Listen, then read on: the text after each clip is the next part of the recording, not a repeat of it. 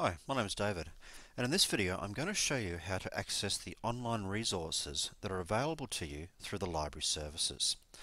Specifically, I'm going to access the SAI Global website for information on Australian standards. Unless I'd paid for this service, I wouldn't otherwise be able to access it.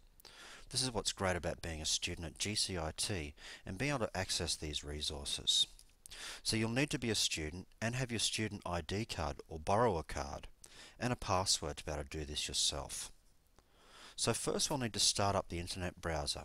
I've got Internet Explorer 8 here. There's a couple of different ways of getting to the library site. This time I'm going to type in the address libguides.gcit.edu.au and I might just maximize this window so I can see everything that's going on.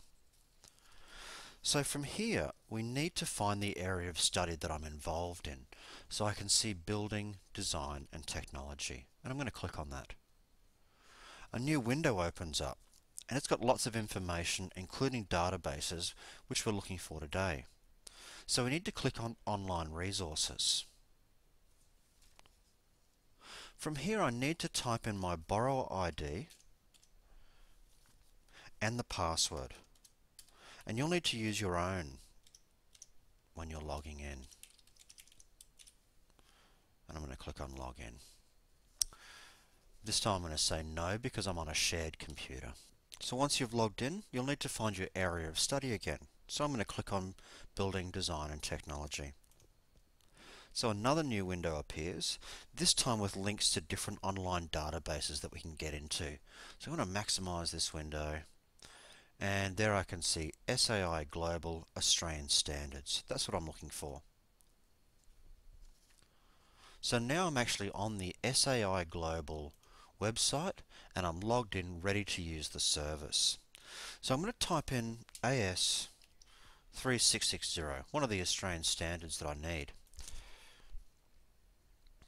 Once I click on the search button, a list of search results appear. So I can click on the product detail here or the product title to get the details or I can click on view document. When I click on view document I should be prompted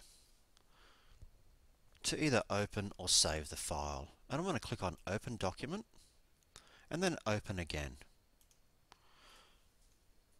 Now I can view that document and read the information that I need, find out what's required. When I'm finished with that standard, I can click on the new search button and I should be returned to the main SAI Global page where I can now search for another standard or document. So that's how you access the online resources through the library services.